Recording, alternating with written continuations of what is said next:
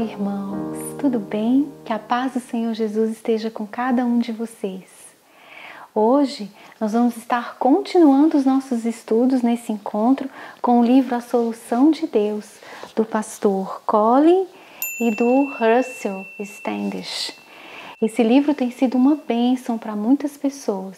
Se você ainda não adquiriu o seu, você pode pedir por esse número que aparece aqui na tela. Liga lá, conversa com o Walter e faça o seu pedido. Hoje nós vamos estar estudando o apêndice A, que se encontra na página 273 do livro. Esse apêndice A é introdutório ao capítulo 3. Mas antes da gente começar, vamos orar? Querido e amado Pai Celestial, nosso amado Jesus, Espírito Santo de Deus, nós pedimos a Ti nesse momento que nos acompanhe nesse estudo. Sabemos o quão é importante o conhecimento da Tua graça para podermos trilharmos o caminho correto. Por favor, fica conosco nesse momento, nos dando a graça do Espírito Santo. Nós te pedimos em nome de Jesus. Amém. Muito bem, queridos. Então vamos lá. Apêndice A, página 273. A natureza do homem. Vamos acompanhar os trechos desse capítulo. É, o pastor Colin e Russell eles começam essa introdução a esse assunto, a natureza do homem, falando no início do século XX sobre a educação universal. Essa educação universal foi é, inserida na história como a segurança para os próximos, para o futuro, a segurança para o futuro. Por quê?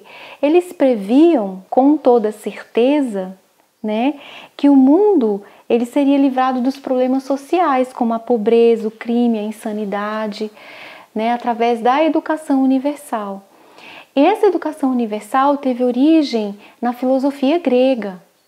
E no mundo ocidental, mesmo com essa educação é, é, universal implantada, esses problemas, na verdade, esses problemas sociais se intensificaram. Né? Então, se mostrou uma falácia. Né?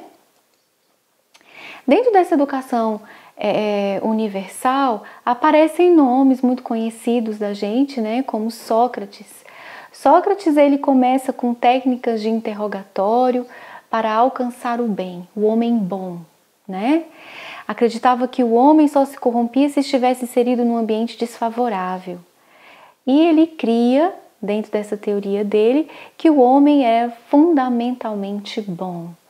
Então a gente começa aí a compreender os parâmetros, os fundamentos da psicologia, né? O homem é bom, essencialmente bom. E hoje, inconscientemente, muitos cristãos têm aceitado essa filosofia pagã, né? Pais não exercem influência sobre a decisão dos filhos. E sem dúvida, Satanás não espera a criança crescer para, para lançar ardis tentações em sua vida. Os hábitos que atrapalharão a criança de se submeter a Cristo são facilmente desenvolvidos nos anos decisivos de formação. Então a gente vê aqui que o cristianismo, né, muitos cristãos acabam é, é, aceitando teorias pagãs sem procurar mesmo saber que fundamento tem isso, né? Então, quando você não intervém na decisão dos filhos, quando você permite que as coisas aconteçam sem que haja uma influência significativa nisso, você na verdade está lançando mão dessa teoria, né? E é uma teoria pagã, então, continuando o pensamento, a gente não vê só Sócrates, né? A gente vê Platão, que era discípulo de Sócrates. E aqui na página 273 tem um comentário assim: concentrou-se em estabelecer a sociedade perfeita em que o homem bom poderia desenvolver-se universalmente, né? Então, para essa teoria, o homem ele era bom e essa bondade está dentro do homem, né? A natureza do homem é boa, né? Dentro da teoria aí que se formou como base da psicologia. Vemos outros nomes como Jean-Jacques Rousseau, né? No século XVIII, ele vem aí no período da Renascença com a mesma teoria, o homem bom. E esse homem bom poderia se desenvolver num ambiente favorável. E aí, aqui na página 274, a gente tem um comentário sobre isso. Não podemos questionar Rousseau a respeito dos benefícios de um ambiente apropriado, mas nenhum estudante diligente da Bíblia deixará de questionar veementemente o conceito da bondade inata do ser humano.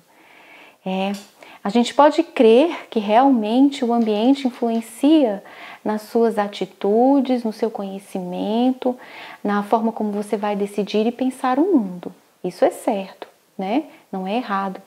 Mas nenhum estudante é, é, sincero, diligente da Bíblia, pode crer numa premissa dessa, né? Se nós estamos vendo até agora que existe uma necessidade de submissão a Deus, de que o nosso pensamento, a nossa vontade seja submisso ao nosso Criador e ao conhecimento de Deus, como eu posso crer, como eu posso trabalhar né, e aprender baseado na premissa de que o homem ele é essencialmente bom, né? Então vamos continuar. A sua raiz filosófica originou as técnicas e as práticas psicológicas do século XX. O movimento empirista foi impulsionado mais ainda pela teoria da evolução, que enfatiza a habilidade de adaptação ao ambiente e nega o Criador como a fonte da vida. Eis o problema. Então, surge desse pensamento o movimento empirista, né? Esse movimento empirista, ele é impulsionado pela teoria da evolução. E o que a teoria da evolução faz com o nosso criador? Anula, anula um Deus criador e mantenedor da vida. Então, a raiz filosófica das práticas psicológicas, ela é baseada e influenciada pelo movimento empirista e tem essas raízes aí na teoria da evolução. E isso é muito importante a gente saber, porque se eu tenho o entendimento correto de onde surge as bases, a filosofia, eu posso ter certeza de se eu posso ou não confiar e crer nessa filosofia, certo? E a ciência? A ciência surge também ao final do século XIX, a ciência adquiriu grande respeito no meio acadêmico. As bases filosóficas antigas passaram a ser avidamente ensinadas na maioria das disciplinas, a fim de fundamentar as teorias científicas de prestígio. Então, muito bem, essas teorias filosóficas antigas, elas recomeçam, não é? E aí, em 1879, aí a gente vem com esse nome, a época em que Wilhelm Wundt fundou o primeiro laboratório psicológico em Leipzig. Foram lançadas as bases da psicologia científica. Ah, de onde vieram as bases da filosofia científica? De Wilhelm Wundt, né? E este homem ele está diretamente influenciado pelo empirismo, pela teoria da evolução, pelo determinismo, né, que são as teorias antigas. A psicologia moderna, né? A filosofia nativista, que ensina que o bem é inato ao homem, e a filosofia empirista, que afirma que o homem nasce sem nenhuma predisposição moral, embasam a grande maioria das teorias e das técnicas da psicologia. Isso pode ser mais bem exemplificado através dos trabalhos de Carl Rogers e B.F. Skinner, respectivamente, certo?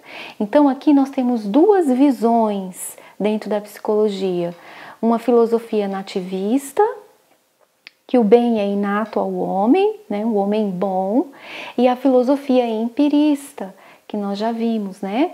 Esse empirismo afirma que o homem nasce sem nenhuma predisposição moral. A gente vê isso em Skinner, né? Nós já vamos ver, vamos comentar. Então vamos lá. Rogers, vamos ver Rogers primeiro.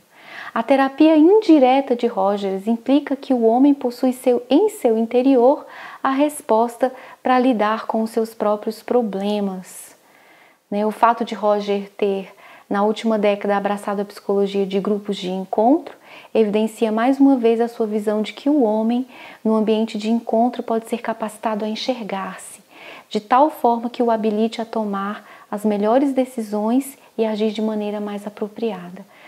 Então, Roger ele influenciou muito, né, é, a área humanista na psicologia. O bem está dentro de você e nas terapias de encontro, principalmente as terapias de, de, de, grupo, né? Rogers ele faz muito isso, as terapias em grupo. Então aí você pode é, se enxergar a sua bondade, as suas respostas, né? Aquilo que está dentro de você começa a te dar respostas favoráveis, né? Então essa é a teoria, né? Baseada na teoria de Rogers. Muito bem. Tal visão favorece a crença de que o homem é o único senhor de seu destino e descarta totalmente a única fonte real de sabedoria e força, que é a confiança em Deus. Então nós precisamos ter esse pensamento crítico. Precisamos olhar as teorias, precisamos é, compreender as bases filosóficas para que a gente possa olhar com crítica, com pensamento, é, é, com razão e falar: não, essa premissa é contra a palavra de Deus, é contra aquilo que Deus disse que é verdade né? Se eu creio que a palavra de Deus disse para mim que eu preciso me submeter ao Criador e que as respostas estão na palavra de Deus, como eu posso então utilizar uma teoria como a de Rogers, que o homem ele é intimamente bom e que, eu, e que dentro de mim existem respostas? Não, não existem, né? Isso não é verdade. Vamos seguindo aqui. Temos agora o behaviorismo técnica da modificação do comportamento de Skinner e outros que também estão envolvidos nessa. Né? O conhecimento não resulta necessariamente no comportamento adequado. Hum, como eu posso enxergar isso? Isso está certo diante da palavra de Deus? Será que eu não tenho que buscar o conhecimento de Deus dentro da palavra de Deus para eu achar respostas? O que é que o behaviorismo está me sugerindo? Vamos ver. Com isso, dentro da visão empirista, facilmente criou-se o conceito que implica uma tentativa direta de mudar o comportamento. Através do processo de condicionamento, foi possível formar padrões de comportamento e dessa forma esperava-se desenvolver o homem bom. Olha o que o behaviorismo está oferecendo para nós uma mudança de comportamento através de, de formar padrões. Quer dizer então que esse comportamento não é motivado pela minha razão, mas sim pela repetição desse comportamento. Né? Uma desensibilização sistemática, alguma coisa que me aproxime, e aí eu tenho um comportamento condicionado e não pela razão, pela decisão, certo? E esperava-se desenvolver o homem bom, né, através dessa técnica. A visão implícita da teoria da modificação de comportamento, visão que alega que o homem possui em seu interior o bom comportamento, pode ser equiparada com a visão da bondade inata do ser humano, percebe? Apesar de o método de Rogers ser influenciado pelo nativismo e o método do Skinner ser empirista de origem, ambos têm muito em comum no que diz respeito ao prognóstico da educação e do treinamento da criança. Então, embora um é, defenda uma base diferente da outra, mas o prognóstico é o mesmo, né? Ele vai excluindo aí a razão, a decisão, né? Dessa forma, as duas teorias são totalmente dependentes da qualidade do meio para o desenvolvimento do homem bom e para o desenvolvimento da boa sociedade, mas nenhuma dessas teorias está de acordo com a visão bíblica cristã. E nós precisamos ter isso em mente muito claro. Por quê? Porque eu preciso ter uma visão crítica da vida. Eu preciso olhar com cautela, principalmente se você é estudante. Se você já é um profissional, pensa bem. Deus aprovaria esse tipo de visão?